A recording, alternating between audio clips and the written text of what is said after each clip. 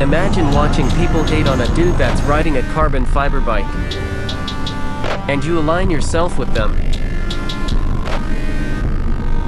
Are you shocked? You think I'm not allowed to do this, but no, it's just you that's not allowed to do this. But just watch. Relax. We all in here. Let it breathe a little and then boom, we back in there. So, as you can see control is key. Oh.